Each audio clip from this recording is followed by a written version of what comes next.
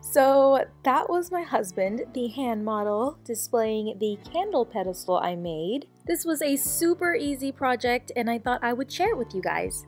All of the products I used are from Dollar Tree, so this costs less than 5 bucks to make.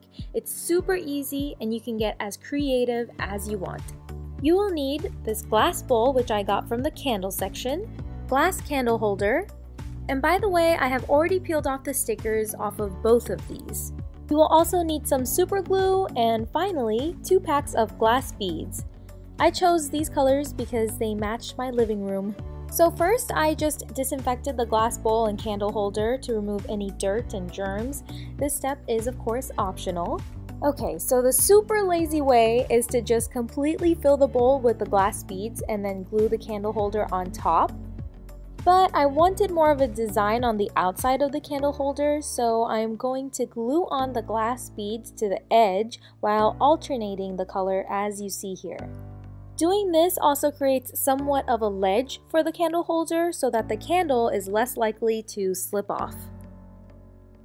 And just a tip, when you have about at least 5 beads left to glue on, make sure you measure the beads out to make sure that they will actually fit. I didn't do that, so I ended up having to readjust the glass beads.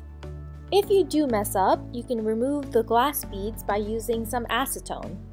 The acetone will remove any of the super glue you accidentally get on the glass as well. If you wear latex gloves like I am for extra protection, just beware because the acetone ate right through them.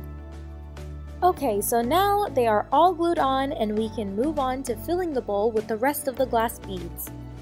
Then, very carefully, glue the top candle holder to the bowl and place something heavy in the middle so it can dry properly. I just used a candle.